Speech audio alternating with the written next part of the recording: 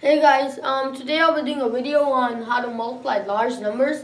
And when I say large numbers, I mean large numbers like um, 3,212 times 541.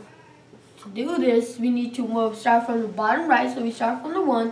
And since we know that 1 times any number is that number, I'll just go ahead and do 1 times 3,212 is equal to 3,000. 212. Kind of the comma over here.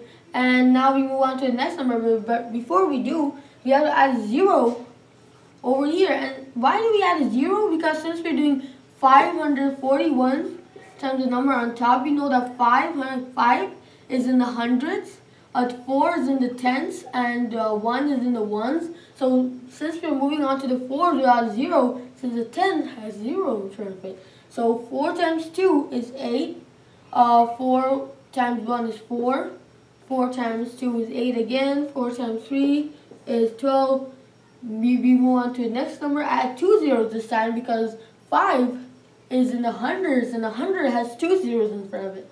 So we do 5 times 2 is 10. Add that 1 over here. 5 times 1 is 5 plus that 1 is 6.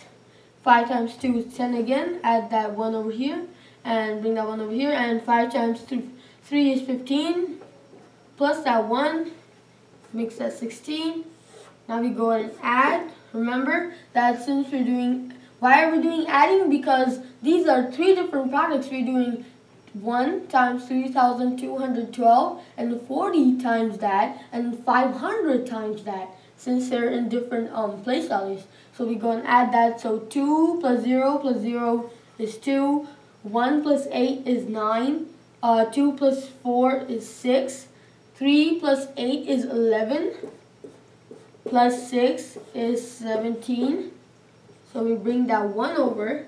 And 2 plus 1 is 3. And 6 plus 1 is 7. 1, bring that down over here. And we get a product of 1,737,692. That's a big product. But since we're doing, when we were doing this, we didn't even feel a thing because all we were doing was one digit multiplication. Uh, so um, you can visit our website at www.um, uh, to um, look at more examples on how to multiply large numbers. And we'll see you guys next time.